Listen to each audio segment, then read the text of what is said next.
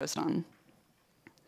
So the last way that hyperthermic conditioning can affect muscle mass is by improving insulin sensitivity. So insulin is well known for its role in, in glucose homeostasis, um, and, but it also has a role in protein metabolism. So in skeletal muscle, um, when you're sensitive to insulin, so when insulin is released, you uh, take up glucose into your muscle cells.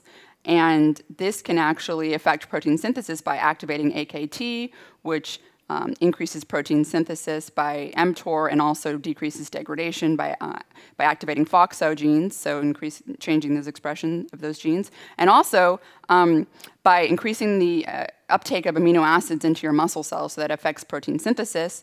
And it also inhibits something called the proteasome. The proteasome is this cellular, cellular complex inside your cells that's responsible for degrading a lot of proteins. So this um, inhibits the, that activity from happening. And actually, if you look at type 1 diabetics, the um, ones that cannot make or produce insulin, they have a very severe muscle wasting, wasting and that's because uh, they don't have this inhibition on the proteasome. So their proteasome keeps degrading all these proteins, and so their skeletal muscle um, catabolism is uh, very high.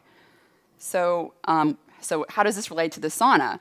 Well, hyperthermic conditioning in, in a diabetic um, mouse model, so this obese diabetic mouse model, when you put these mice um, for three, three different sessions a week in a 30, uh, I think it was a 30 minute session, um, and this is for 12 weeks. If you hyperthermically condition them three times a week for 12 weeks, um, they actually showed a 31% decrease in insulin and that corresponded with insulin sensitivity. And what, what they found was that these mice increased the expression of genes called glucose transporters. Specifically, it was GLUT4 transporters in their skeletal muscle.